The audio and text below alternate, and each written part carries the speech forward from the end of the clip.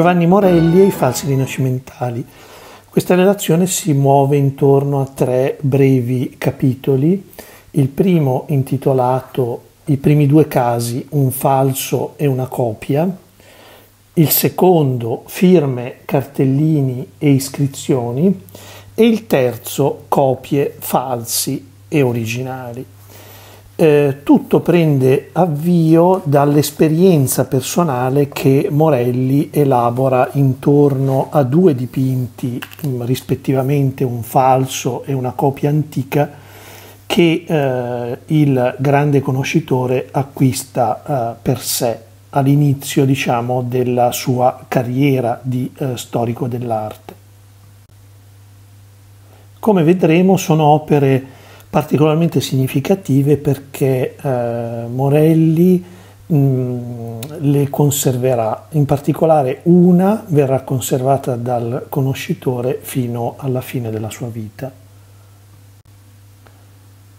I primi due quadri posseduti da Giovanni Morelli, come dicevamo, risulteranno rispettivamente un falso, quello di sinistra, e una copia antica.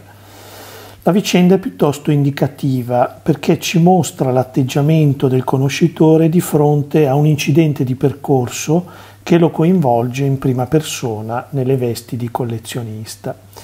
Entrambe le opere sono state acquistate precocemente intorno al 1856, più o meno nello stesso giro d'anni in cui il medico di formazione stava maturando l'idea di occuparsi di storia dell'arte. Il falso, quello sulla sinistra, è un ritratto di donna di profilo eseguito da Angelo Tricca e spacciato per Leonardo da Vinci. La copia, quella sulla destra, una derivazione in miniatura della Pala Martinengo di Lorenzo Lotto, presumibilmente eseguita da Giovan Paolo Cavagna nell'ultimo quarto del Cinquecento.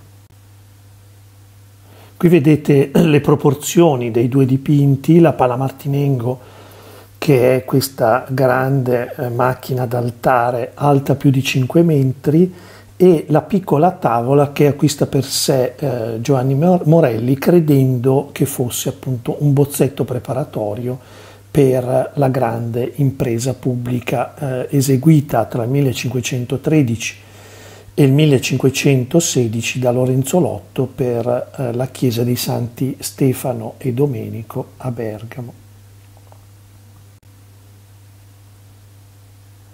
Mentre la derivazione di eh, Lotto, la copia da Lotto, a un certo punto sarebbe stata immessa nel mercato antiquario dello stesso Morelli, il Leonardo falso avrebbe accompagnato il conoscitore fino alla fine dei suoi giorni, consapevole che fosse falso. Secondo la testimonianza dell'allievo Jean-Paul Richter, il dipinto era collocato nella camera da letto di Morelli, la stanza più spaziosa dell'appartamento in via Pontaccio 14 a Milano. La cosa insolita è che fosse l'unico dipinto appeso alle pareti, comodamente visibile dal suo letto. Se consideriamo che tutti gli altri ambienti erano gremiti di opere d'arte, la faccenda suona piuttosto strana. Voleva averlo sempre presente per rammentarsi l'errore commesso? Anche Bernard Berenson, il più noto dei suoi allievi, è cascato in una trappola simile quando aveva comprato per sé una tavola in stile senese del XV secolo, quella che state vedendo, eseguita dal falsario Icilio Federico Ioni. La cosa piuttosto incredibile è che risulti anch'essa la pittura, la prima pittura da lui acquistata, lo ricorda Nichi Mariano nel presentare il volume sulla collezione Berenson nel 1962. A entrambi, cioè a Berenson e a Morelli, non è toccata la fortuna dei principianti, piuttosto hanno preso la classica cantonata degli inesperti. Alla morte di Morelli il falso Leonardo sarebbe passato tramite legato all'amica Laura Minghetti, moglie del ministro Minghetti, e da lei venduto, grazie a Berenson, al milionario americano Theodore Davis. Quest'ultimo ha lasciato la propria collezione al Metropolitan Museum di New York nel 1915 ad, esclus- ad esclusione del falso, ormai smascherato come tale, ereditato dalla sua segretaria. Per Morelli le firme, i cartellini e le iscrizioni mh, avevano un valore secondario.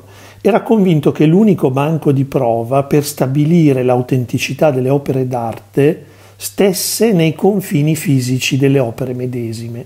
Fonti e documenti scritti hanno un valore secondario, appunto, così come eventuali firme, cartellini e iscrizioni poste sui quadri, che vanno osservate con una dose di preventivo sospetto e comunque senza mai sostituirsi alla verifica del metodo sperimentale. Nel dialogo immaginario tra il tartaro Ivan Lermoliev, fittizio autore del libro, e l'attempato colto italiano, altra maschera dell'autore, inserito nel concetto fondamentale metodo che è il capitolo introduttivo al volume sulle gallerie eh, Doria Panfili e Borghese a Roma, Morelli sostiene questa tesi generale, che diciamo evolve in forma di dialogo. No? Come, esclamai attonito, ella vorrebbe mettere in dubbio sino il valore del documento scritto tanto valutato da tutti gli storici dell'arte, qui è l'Ermoliev che parla, risponde il, uh, l'attempato colto italiano. Per il conoscitore l'unico vero documento, rispose egli tranquillamente, in ultima analisi sta nell'opera stessa. Questa sentenza apparisce certamente audace, anzi arrogante, ma in realtà non lo è, come cercherò di dimostrarle con molteplici esempi. E infatti dove vuol trovare un documento più degno di fede che più salti agli occhi di quel che sia il nome del maestro scritto sull'opera stessa, documento che in Italia soliamo chiamare cartellino? A Feio dissi, parla Lermoliev, se tutti i quadri fossero muniti di iscrizioni non vi sarebbe davvero gran merito nell'essere conoscitore. Risponde l'italiano, anche qui non posso consentire.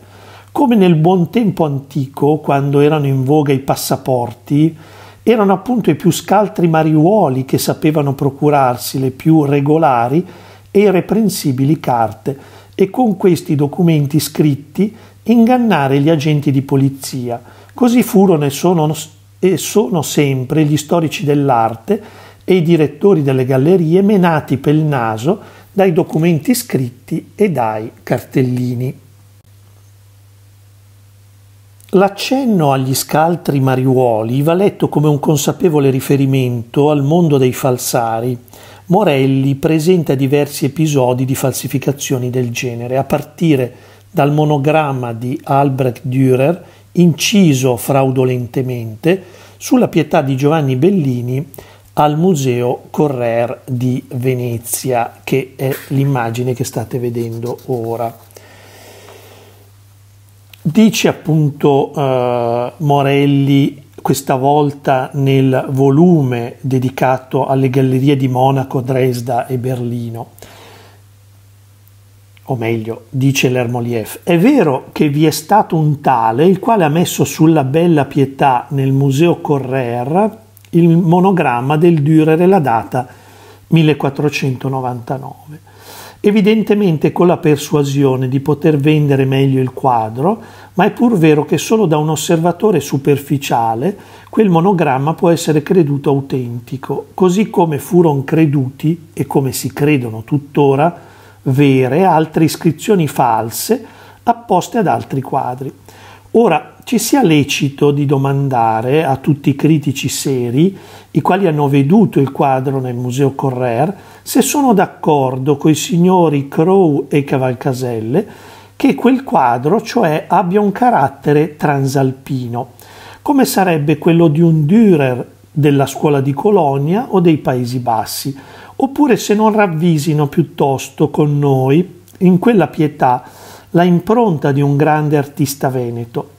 Ci rincresce davvero che i signori Crow e Cavalcaselle non si siano accorti d'essere davanti a un'opera splendida e profondamente sentita di Giambellino e ci spiace non solo per loro ma ancora e più per le conseguenze che così fatto svarione dovrà produrre nei loro lettori.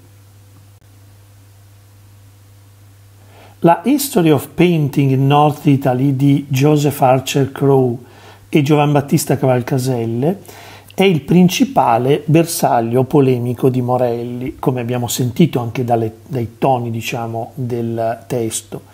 I due gemelli siamesi, come li chiamava scherzosamente Morelli, hanno commesso l'errore non tanto di considerare autentico il monogramma, che di fatti ritenevano falso, attenzione, ma di essere approdati a un'attribuzione sbagliata in favore di Pier Maria Pennacchi sulla base del confronto con l'opera firmata del Museo di Berlino che vedete a destra, che è andata distrutta du- durante il secondo conflitto mondiale. Quello che Morelli suggeriva surrettiziamente è che i due conoscitori si sarebbero fatti influenzare, attenzione, dalla presenza della marca apocrifa valorizzando le caratteristiche transalpine di Pennacchi. Qui diciamo è un po' un uso strumentale di Morelli, devo dire. In verità il testo incriminato sottintende che in passato la scritta non era stata ritenuta falsa proprio in virtù dell'aspetto tedeschizzante dello stile del pittore. Secondo Morelli le firme sono ambigue per natura Ovviamente questo atteggiamento poteva risultare pericolosamente rischioso. Di fronte alla Madonna con il bambino in trono e santi che state vedendo della collezione Borromeo, firmata da Bernardino Butinone, il conoscitore è categorico. Cito, esso porta in lettere d'oro l'iscrizione Bernardinus Bettinonus de Triviglio. A mio avviso quel quadretto non ha niente a che fare con le opere autentiche del Buttinone e dello Zenale a Treviglio in San Pietro Ingessate, ma corrisponde invece tanto nel tipo delle figure quanto anche nella maniera tecnica alle opere di Gregorio Schiavone di Dalmazia, stanziato a Padova. L'iscrizione è evidentemente una contraffazione. Scusate il gioco di parole, ma Morelli si era fatto una falsa idea di Butinone. La cosa che più colpisce è l'indifferenza di fronte alla qualità tecnica della firma, eseguita a lettere d'oro sul piedestallo del trono, lo stesso oro che brulica nelle decorazioni dei capitelli, nelle trabeazioni figurate e nei clipei coi profili di Cesari molto diversa dalla falsificazione grossolana che abbiamo visto nel Bellini precedente. Per giustificare l'errore bisogna considerare che fino a quel momento non si conoscevano opere così dichiaratamente filopadovane di Butinone e per Morelli risultava quindi più corretto classificarla sotto il nome di Schiavone. Ogni attribuzione è il risultato delle conoscenze del tempo. La storia della connoisseurship va avanti tramite una somma di intuizioni individuali processate e accolte in un sistema organico di informazioni, sempre pronto a rimodellarsi sulla costruzione di singole personalità, flussi di influenze tra maestri e scuole pittoriche, eccetera. Anche l'esempio riguardante Antonello da Messina va nella stessa direzione. Il procedimento classificatorio di Morelli lo ha spinto a organizzare i dati in gruppi e sequenze uniformi. Nel caso del pittore siciliano è giunto a sostenere che le sue firme sono sempre inserite in cartellini dipinti e aveva ragione. A partire da questa convinzione considera tutti i casi difformi apocrifi a priori. Vediamo cosa dice a proposito del eh, dipinto che vediamo a sinistra e a destra rispettivamente, uno a Berlino e l'altro a Bergamo. Cito, il quadro di San Sebastiano porta l'iscrizione Antonellus Mesaneus. Questo quadro è troppo fiacco nel disegno ed è dipinto troppo rozzamente per poterlo credere di Antonello stesso. Del resto, Antonello metteva sempre il suo nome sopra un cartellino e scriveva Messaneus con due S, perciò credo che tanto questo San Sebastiano, come anche quell'altro simile a questo, che è nella Galleria Comunale di Bergamo, debbano essere lavori della bottega di Antonello e l'iscrizione sia stata evidentemente apposta al quadro dopo la morte di Antonello.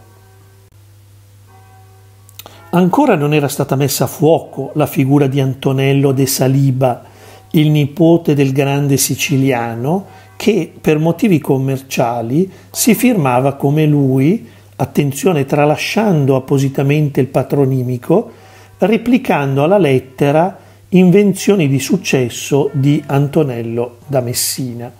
Certo Morelli non poteva neanche lontanamente immaginare che la firma potesse essere usata con fini così subdoli. E qui vedete i due confronti tra due invenzioni di Antonello, che sono quelle diciamo riprodotte in scala più grande, quindi la Pietà del Museo Correr di Venezia, replicata con varianti da Antonello de Saliba che si firma appunto come diceva eh, Morelli Antonellus Mesaneus e mh, anche la copia senza varianti questa volta della celebre eh, Vergine Annunciata dipinta appunto da Antonello da Messina.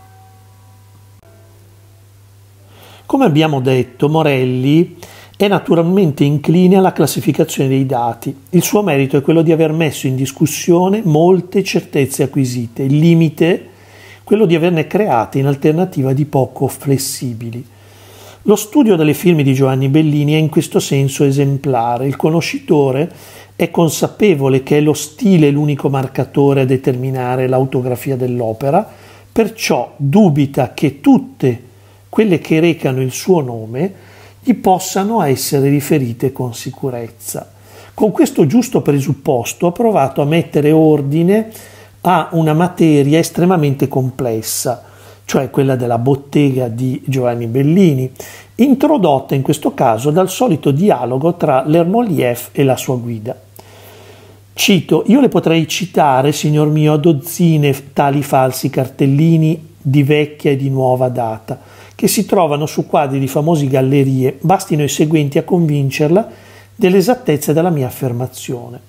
Ella trova nella Galleria Doria a Roma, foto a sinistra, nel Louvre a Parigi, foto a destra, quadri di Niccolò Rondinelli da Ravenna, che per la falsa iscrizione vanno sotto il nome di Giambellino e come suoi anche dagli storici dell'arte sono descritti e decantati.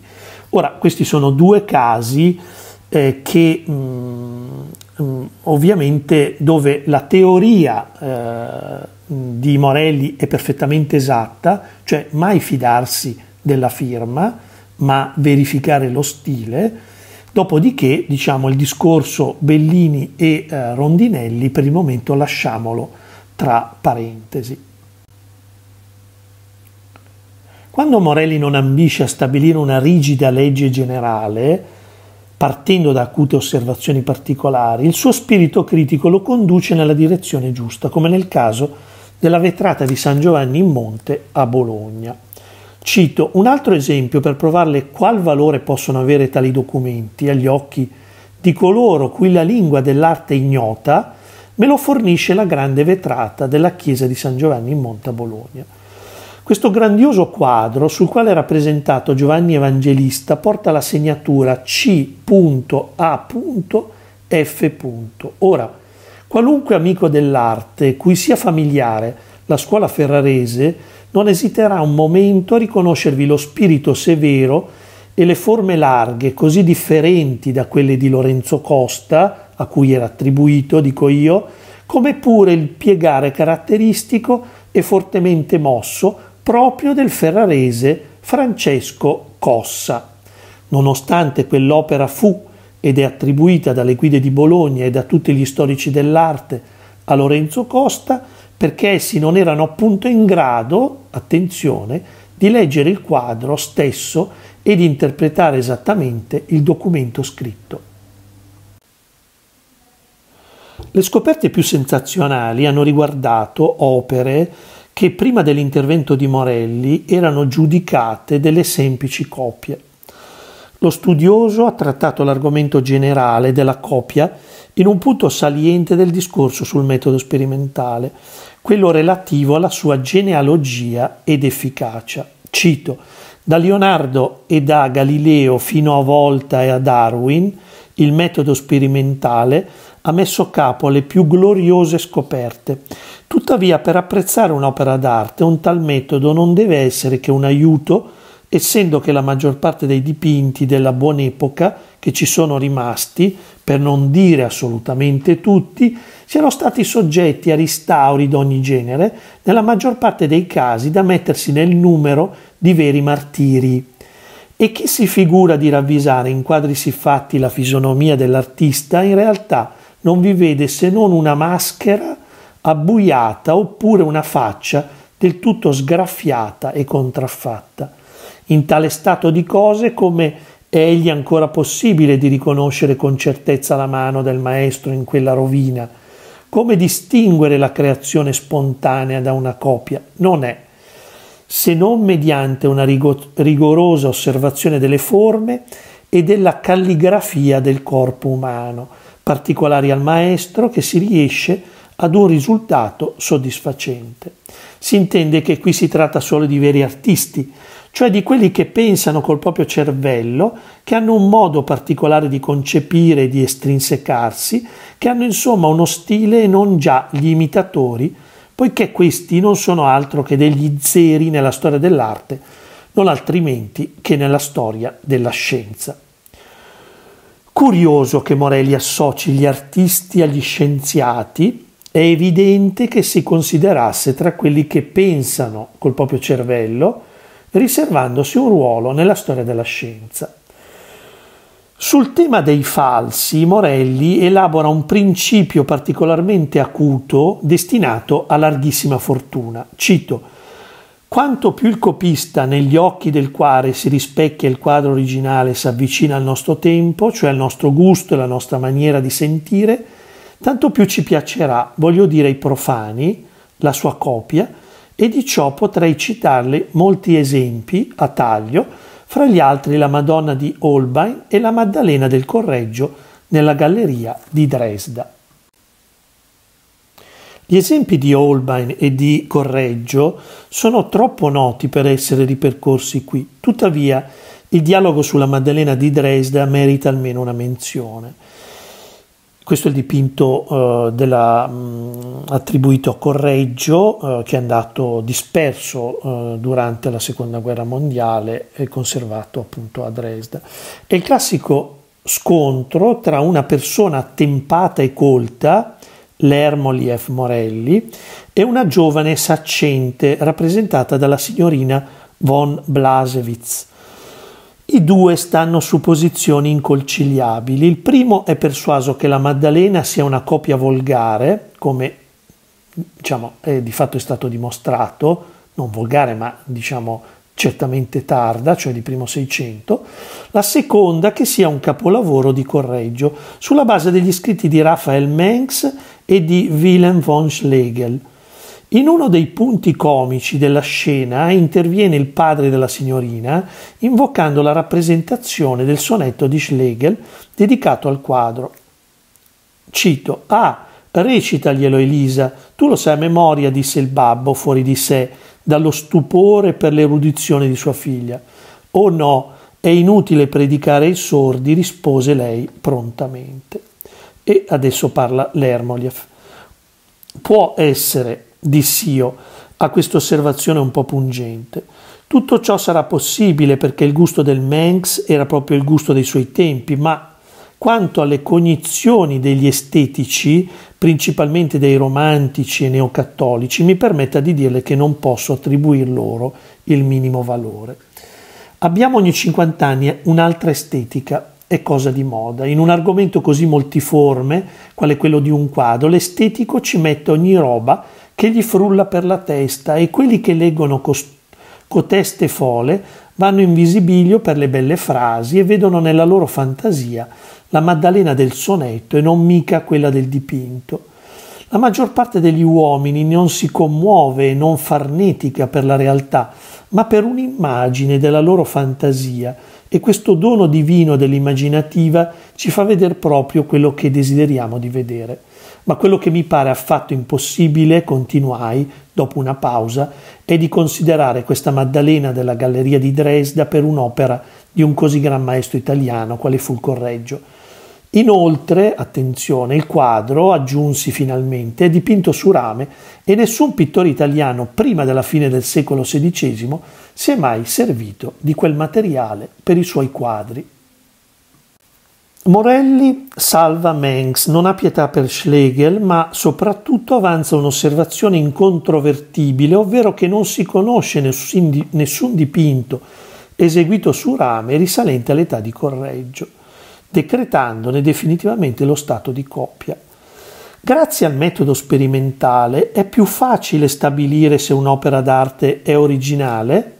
Secondo Morelli, uno scolaro un imitatore non copia certe singolarità come le forme delle unghie, delle orecchie, eccetera. In questo modo riabilita una serie di testimonianze figurative fino ad allora considerate borderline.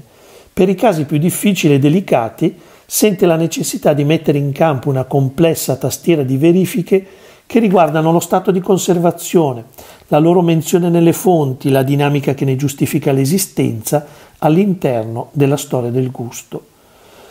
La scintilla iniziale scatta di fronte all'originale. Solo successivamente Morelli mette in atto tutti i controlli necessari per snocciolarli in una narrazione convincente. Qui vi mostro la fotografia più antica che si conosce della Venere di Dresda, ehm, che diciamo, è l'ultimo episodio che commentiamo. Anche nel, cano, nel caso della Venere di Dresda è andata così. A mio proprio conforto, dice Morelli, posso farmi la testimonianza di aver sentito e veduto in questo incantevole quadro il genio e la mano di Giorgione prima di aver saputo che era già notato per opera sua nel catalogo dell'Anonimo del Morelli. L'Anonimo del Morelli, sapete, è questo testo che eh, pubblica Jacopo Morelli e perciò prende il nome di anonimo del Morelli, ma noi oggi sappiamo essere un testo di eh, Marcantonio Michiel, un umanista e collezionista eh, e l'archetipo diciamo, del conoscitore vissuto all'inizio del Cinquecento. È una sorta di confessione che lo studioso antepone alla dimostrazione dell'esperimento. L'accertamento inizia dall'esame dello stato conservativo, Cito, l'occhio di pochi intelligenti si sentì attratto dallo splendore che irragia anche attraverso il velo, onde il restauratore ha coperto questa mirabile figura di Venere, la più bella del mondo. Procede con l'individuazione della fonte dell'anonimo moreliano, alias Marcantonio Michiel, che la cita nel 1525 presso Casa Marcello a Venezia, Venere nuda, dice Michiel, che dorme in un paese con cupidine fu de mano de Zorzo da Castelfranco, ma lo paese e cupidine furono finiti da Tiziano. Morelli aggiunge anche la menzione fatta da Ridolfi, che ritocca la descrizione con un cupido con augellino in mano. Infine trova nel recente catalogo della Galleria di Dresda di Julius Hübner la prova maestra, ovvero la notizia che il Cupido non più visibile allora si trovava ai piedi della Venere essendo stato mascherato dal restauratore Martin Skirmer nel 1843 a causa delle condizioni troppo compromesse in cui era stato trovato. All'epoca della scoperta la Venere di Giorgione era creduta una copia, forse dipinta da Sassoferrato, e con questa attribuzione dubbiosa era stata classificata anche da Cavalcaselle e Crow.